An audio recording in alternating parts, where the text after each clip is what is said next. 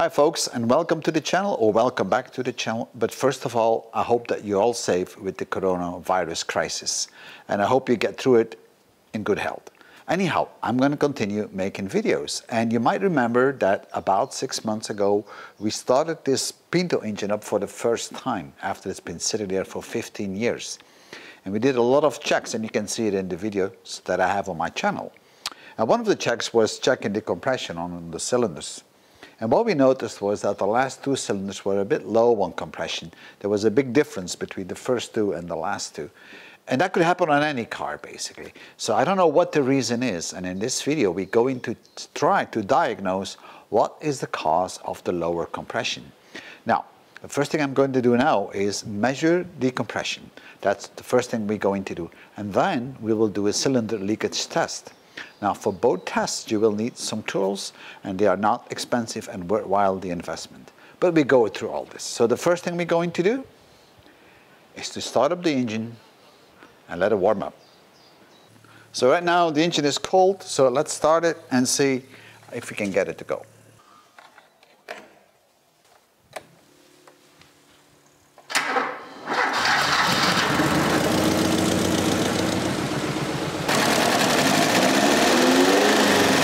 But as you can tell, it is not running very smooth. It's, it's, it's, really shaking a lot, and that's because of the last two cylinders. You can even hear it on the sound, so I suspect still the problem with the compression. So we're going to start testing that very soon, but first I'm going to let it warm up. You also might have noticed that the starting was not with a lot of battery power uh, because this car also still have another problem. It has a short or high power consumption somewhere. I don't know what it is, but we got to figure that out. So I'm going to let it warm up and then um, we check it out. So I'm going to measure the temperature on the car because the dials don't work. And once the car is up to temperature, which is around 62 to 70 degrees centigrade, I'm going to shut it down and we'll start with the compression test. I think it's warm enough now, so now we're going to start with the compression test. And for that, you need a compression meter. And this is a compression meter which gives you the pressure in bar and also in PSI, pressure relief valve. And on the other side, you have the part that fits into the opening of the cylinder head where normally the spark plug is. The only thing you got to watch out for is that you actually have the right fitting at the end. And this is my original spark plug. As you can see, that's just going to fit nice. And make sure that you have the seal on. So let us uh, remove the spark plugs and then fit it. All right, let's do that. And I always mark them so it's easier to put it all back later. Otherwise you have to start checking what cable went where. All right, and then number four.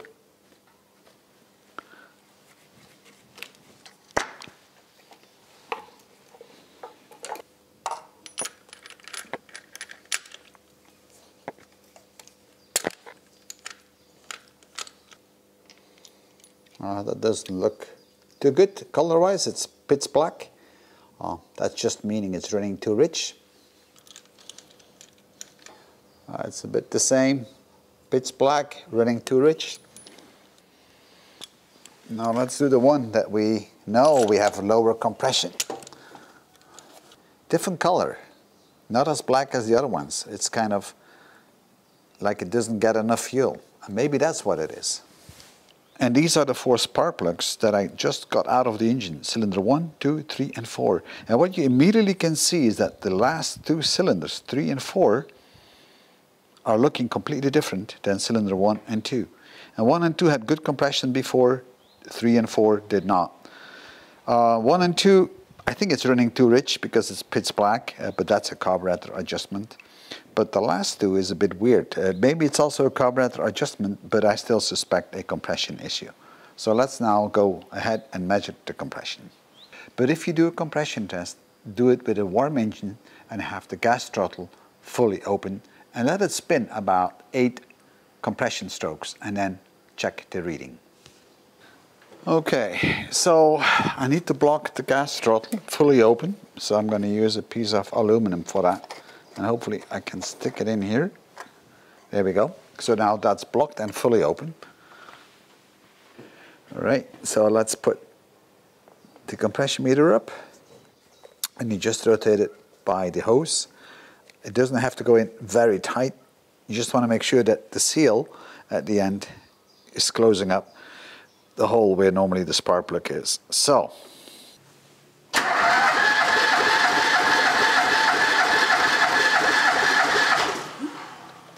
that should be enough. And we've got a really good reading of around 12 kilograms, which is great. Let's remove it and we use it in the next one. All right, cylinder number two.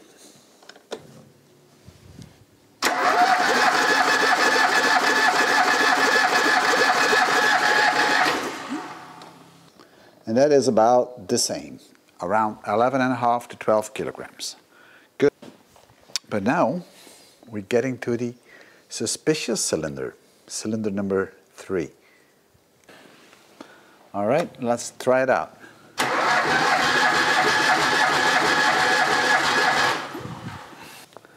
But my God, this is good. I've got also 12 kilograms right now. That was not the case before. Um, that's looking good. So maybe we just have a fuel problem on this one now. But nevertheless, let's try the last one. And now we do the last one.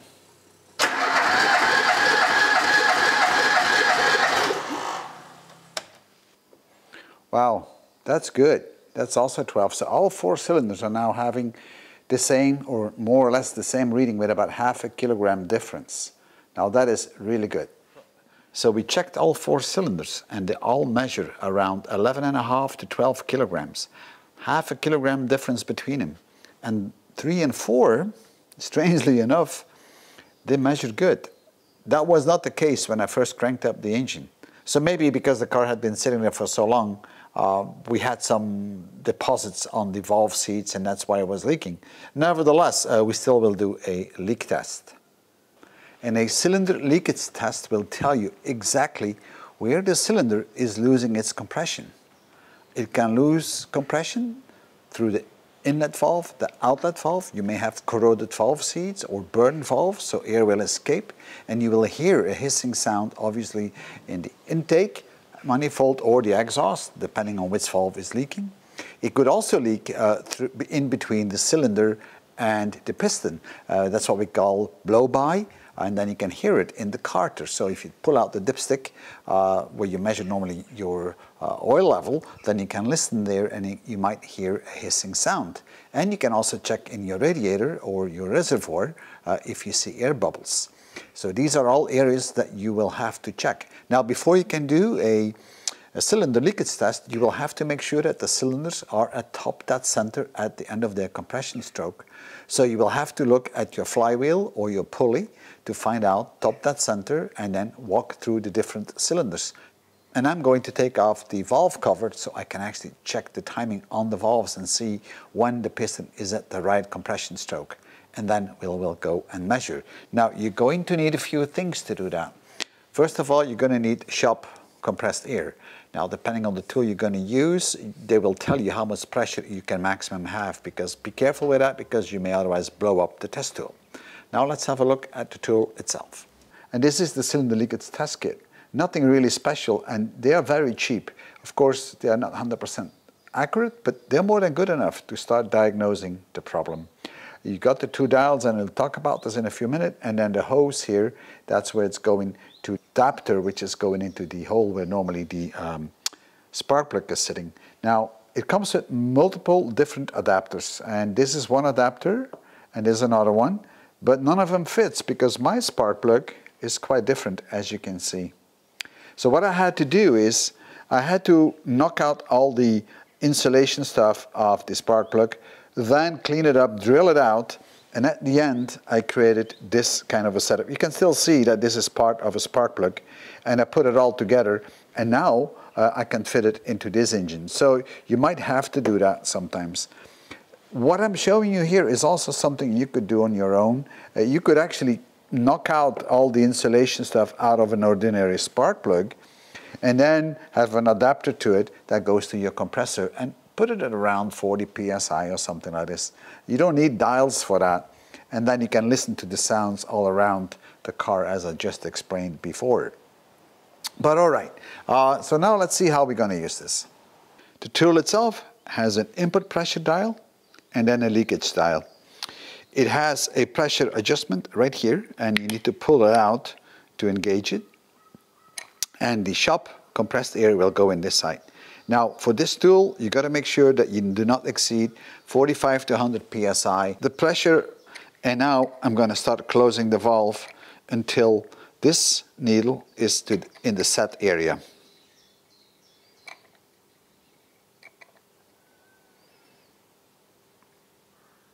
There we go. I'm going to give it a little bit more. All right. So now we are ready. Uh, in essence, what has to happen now is that we need to connect this hose now to the cylinder, which is at top dead center.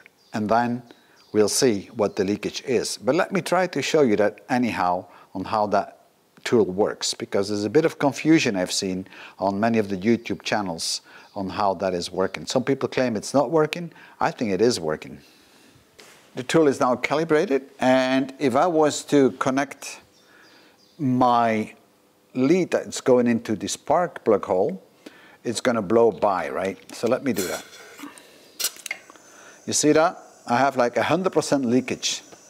And that's normal because it is open here, right? I mean, nothing stops it. But see, if I put my finger on there and I can block it completely, then I have no leakage. Uh, if it has a bit of leakage, see, and I'm letting my finger go. So how that, this is how that works. So you will see that a decent engine is around 10 to 20%, you know, around that area, that's still acceptable. Anything below that, below 20%, mm, that's not that good. I know it shows still green here, but I, I wouldn't like that. I would try to stay at least around 20 or below. So let's uh, check this out. So first of all, let us take the valve cover off now.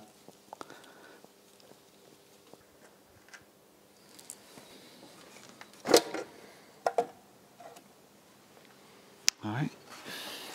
We're going to start with cylinder number one, and I'm going to spin the motor around in its normal rotation direction until I'm at the compression stroke of cylinder number one. Now for that I have a marking on the pulley which is top dead center and so let's see. Well that certainly is not it because you can see the exhaust valve going down so now the piston is coming up now piston will come down in a minute and the intake valve will open up it's coming back up so now we started the compression stroke. There we go. And I'm watching my top dead center on my pulley and that's where we should be. I will do a quick check with a screwdriver and the and feel where the piston is. It's still coming up a little bit.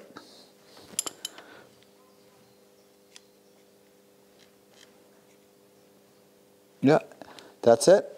You want to have it at the top dead center because if you put some pressure in, otherwise the engine may turn around. And both valves should be rocking. There should be play. If there's no play, then you have a problem with your valve clearance. So let's put the meter up and see what it gives us. The meter is calibrated. And what I see right now, let me just see if we're in the right spot. Yeah, we were.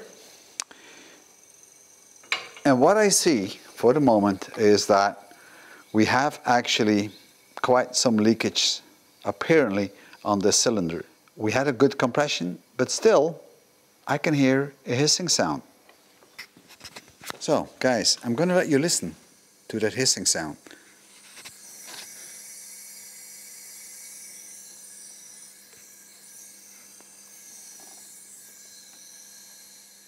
And there is an opening here in the back where the oil goes back into the carter. And I'm going to let you listen there.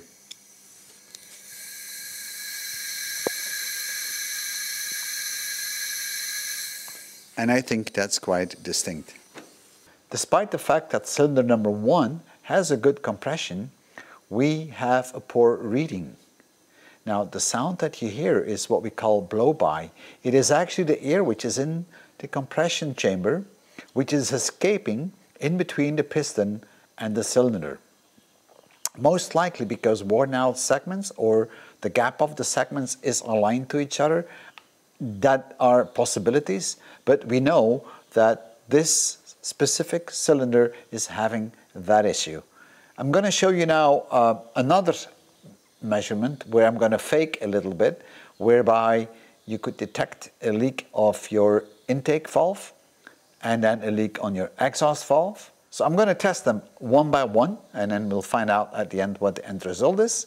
But first of all, I'm going to show you what the effect is if you had a bad intake valve. I have simulated a faulty intake valve by leaving it a little bit open while I'm doing the test. And then you could actually check the intake manifold or your carburetor and you should hear a hissing sound. So let's see if that is the case or not. I'm going to take the microphone off so you can actually hear it. Now I will have to open up the, um, the gas throttle to let you hear it better. So,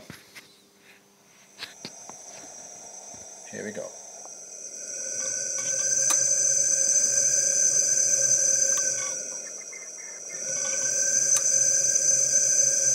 So each time I open up the gas throttle, you can actually hear the air coming out of the carburetor. So that would be a sign of a faulty intake valve. Now we will simulate a faulty exhaust valve. Now the exhaust valve is slightly open and that would be the simulation of a faulty exhaust valve seating. Maybe the valve is burned and the way to check that is to listen at the exhaust. And here's the exhaust pipe and I'm going to put the microphone in there so you can hear it.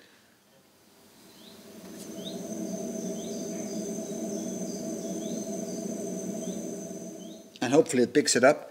I can actually hear it.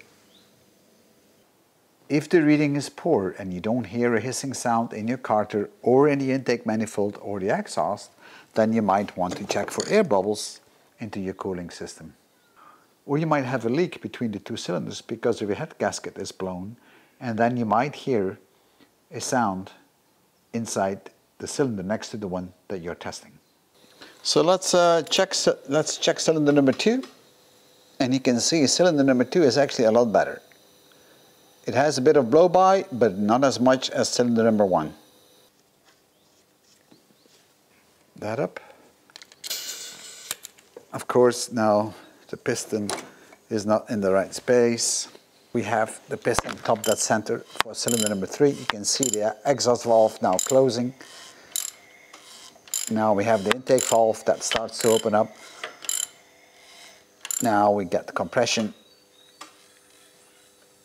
And there we go. And you can see we are now at top dead center and we have the same kind of blow by.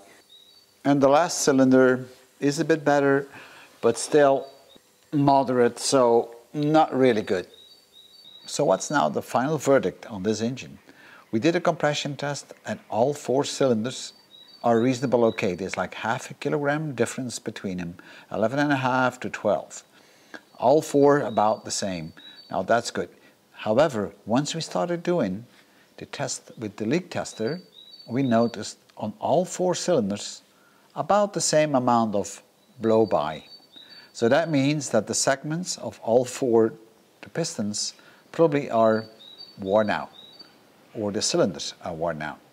And actually you can see that when the engine is running, when you check on the cap on top of the valve cover, you can actually feel it. It's blowing a bit. You actually feel it, and that's the blow-by. Um, so I might put new segments on this. I'm not sure yet, but I have a spare Pinto motor sitting on the side anyway, which is as good as brand new. So I might fit that one because I have to remove this engine anyhow because the clutch is still stuck. So guys, thank you for watching and I hope you really enjoyed this video as much as I did. And soon I'll be back with an old rusty uh, video because meanwhile I've got the parts. I'll see you later. Bye.